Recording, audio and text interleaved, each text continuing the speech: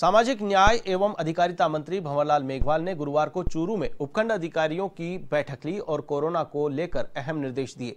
पंचायत समिति सभागार में हुई बैठक में उन्होंने वैश्विक महामारी कोरोना को हराने का आह्वान किया। उन्होंने कहा कि हमें दूसरी बार आज़ादी की लड़ाई लड़नी है। पहले हमारे पूर्वजों ने अंग्रेज़ों से लड़कर आज़ादी हासिल की थी और आज हमें कोरोना जैसी वैश्विक महामारी से लड़कर आज़ादी पाना होगा। उन्होंने कहा कि राज्य सरकार ने कोरोना के खिलाफ जंग में अपना खजाना खोल रखा है। लेकिन हमें निश्चित करना होगा कि इस दौरान कोई भी व्यक्ति भूखा नहीं सोना चाहिए। इस दौरान उन्होंने आपात सेवाओं से जुड़े अधिकारियों, कर्मचारियों की प्रशंसा भी की। साथ ही उन्होंने पुलिस अधिकारियों से लॉकडाउन का सख्ती से पालन कराने की अपील भी की।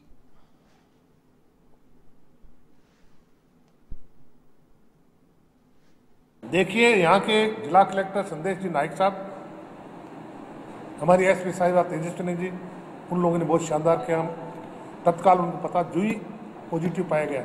एक एक आदमी, पूरे परिवार को उन्होंने कब्जे में लेकर के उनकी स्क्रीनिंग कराई कराएगी जाँच कराएगी आज की तारीख में कोरोना पॉजिटिव काफ़ी व्यक्ति हैं।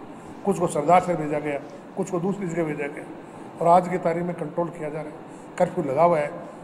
कर्फ्यू के अंदर भी पूरी अच्छी तरह से सबके कोई दिक्कत नहीं हो। इस बात का ख्याल रखा जा रहा है। भामा से आगे आ रहे हैं। लोग दान, दानवीर करण वो हैं, वो दानवीर भी आगे आ रहे हैं घर घर के अंदर राशन बांट रहे हैं घर घर अंदर पका पका हुआ भोजन मांग रहे हैं, गाड़ियाँ आज की तरह चाली है सारे पार्टी कार्यकर्ता लगे हुए मैं एक पार्टी का किसी के नहीं बोलता। हर व्यक्ति, चाहे वो किसी भी पार्टी का कार्यकर्ता है, आज की तारीख में एक होकर